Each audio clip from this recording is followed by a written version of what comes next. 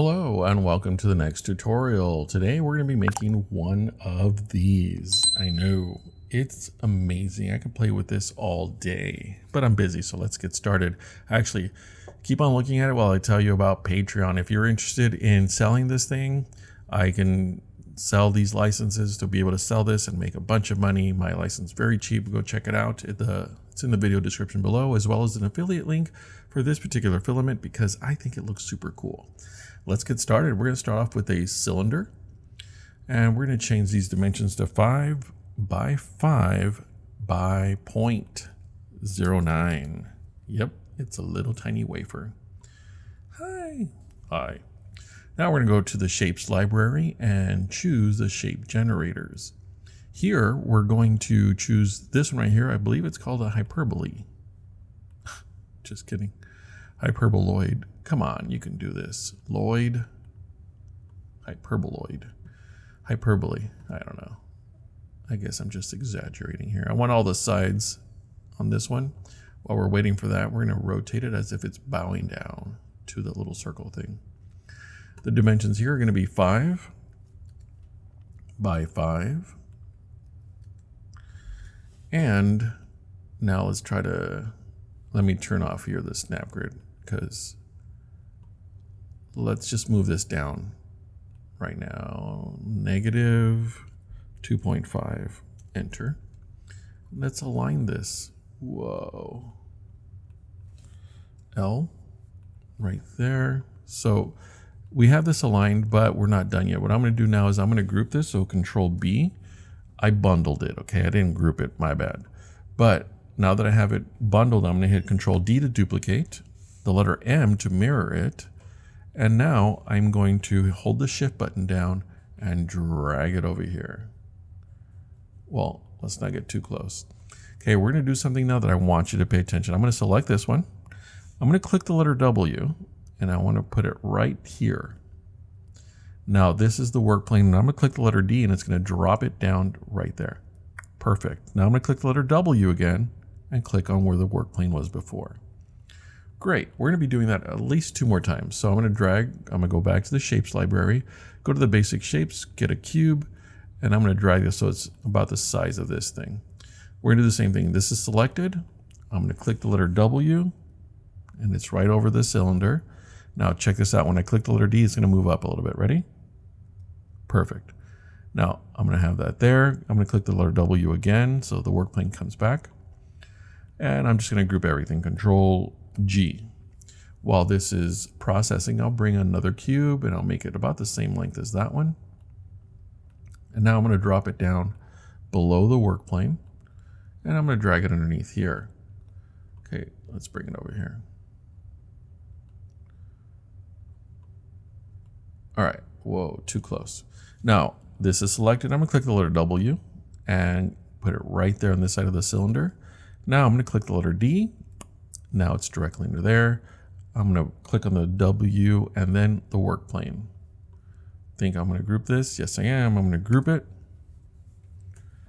All right, so we now have the very beginning of the spiral. What we're going to do now is we're going to make this into a spiral all the way across. We're going to make it into a star shape essentially, but a kind of weird looking star shape. So I'm going to duplicate this, Control D, and I'm going to rotate this 45 degrees. And then notice I haven't clicked on anything else. I'm just going to click the letter D again and again.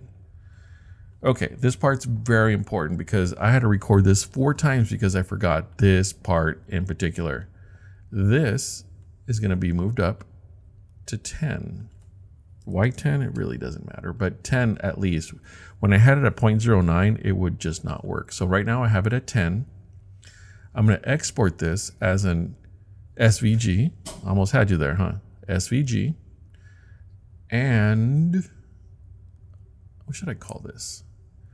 I don't know. But when I name it, I think I named it outside. Oh, we're just going to call it spirals. Let's call it the star, spiral star. Later on, I'm going to refer to it as something else, but this is what I'm talking about. Okay. I'm talking about this spiral star. Save.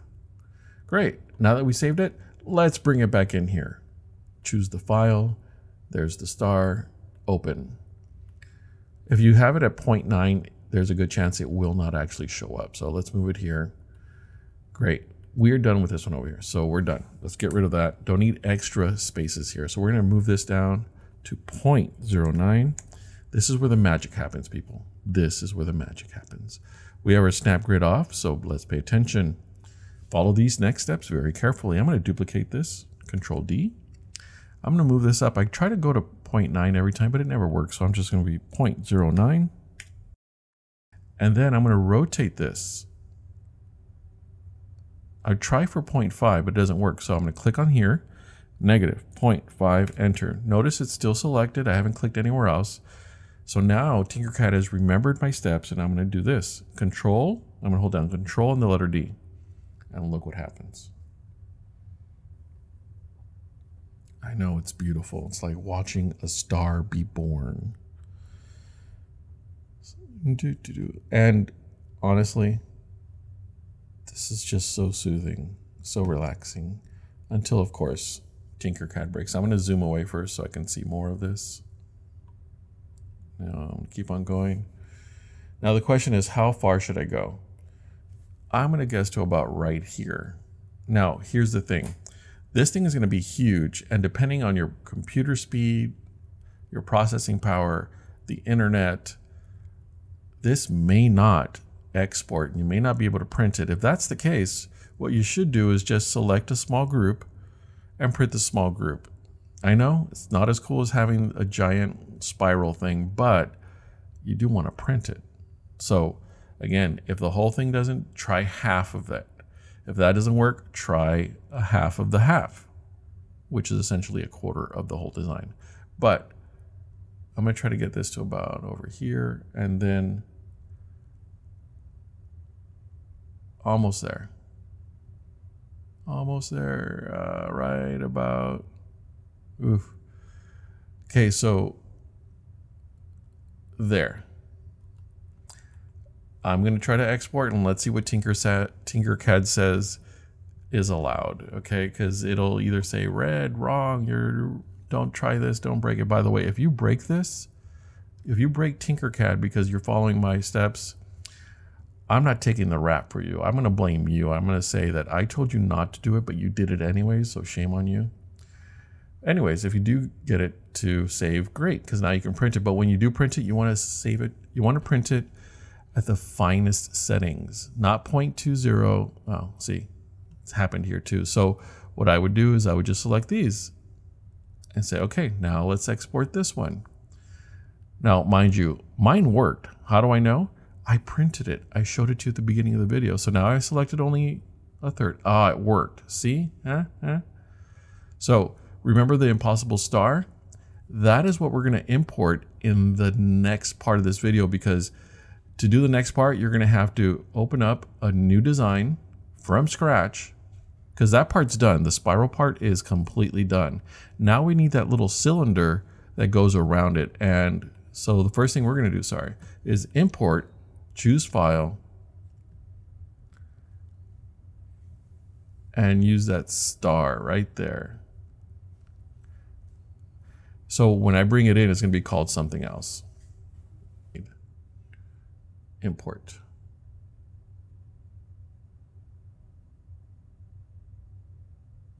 Okay. So now that I have this, I'm going to make it go 0.09. And then I'm going to bring in a cylinder and I'm going to maximize the sides already. I know that. And let's make this 50 by 50. And this is going to be 0.09. There it is. All right. Now I'm going to select both, click the letter L to align, align there, align there. Oh, it's already aligned. Great. I'm going to make this circle disappear because I don't need it for a while. So there it is. Now, these little things, little fragments, I'm not sure why they're there, but they are. Here's what we're going to do. We're going to duplicate this thing, Control D, and because it's an SVG, we have these these uh, settings that we can manipulate. So we're going to change this to outer, and we're going to change this to 0.9.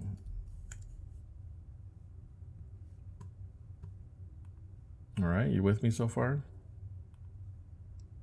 Okay, so that's what we, what we want right now, but check this out.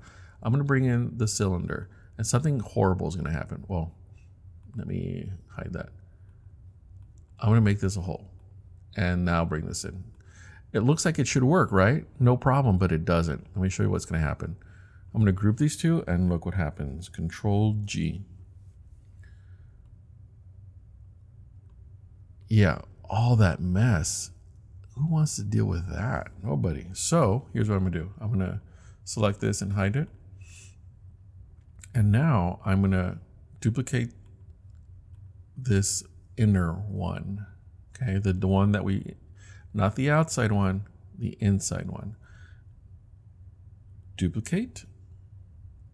Actually, no. Let me see which one I chose. I'm, I'm looking at my directions here. Okay, yeah, inner star.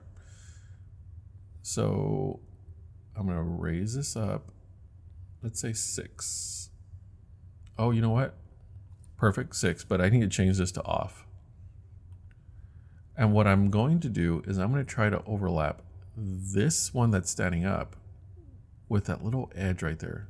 To do that, I'm going to hold the shift button down and then I'm going to move this slightly.